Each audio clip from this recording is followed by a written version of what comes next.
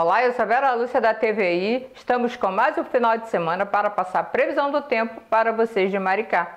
Neste sábado, 18 de novembro, a máxima de 39 graus e a mínima de 24 graus. Sol com nuvens de manhã, possibilidade de chuva à tarde e à noite. Umidade do ar 40% e o vento de 11 km por hora.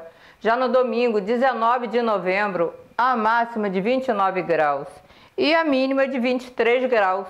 Sol com períodos de nublado, com possibilidade de chuva a qualquer hora. Umidade do ar 60% e o vento de 17 km por hora. Já a programação de eventos em Itaipuaçu, Maricá, começa no Botequim do Caranguejo, petiscos e refeições, sábado 18 de novembro, 20 horas. Banda Calor Humano, na Avenida 1, lote 8, Quadraderno Barroco. E no Dom Fiorini Pizzaria e Restaurante, sábado 18 de novembro, 20 horas, Luiz Barreto. E domingo, 19 de novembro, 13 horas, Márcio Matos, na Rua 1, esquina com Rua 35. E no quiosque do Chopp A Saideira, sábado 18 de novembro, 17 horas, Bruninho do Cavaco. E domingo, 19 de novembro, 17 horas, Grupo Chega Mais, na Avenida Beira Mar, esquina com a Avenida 1, na Orla da Praia. Um bom final de semana a todos e um bom feriadão!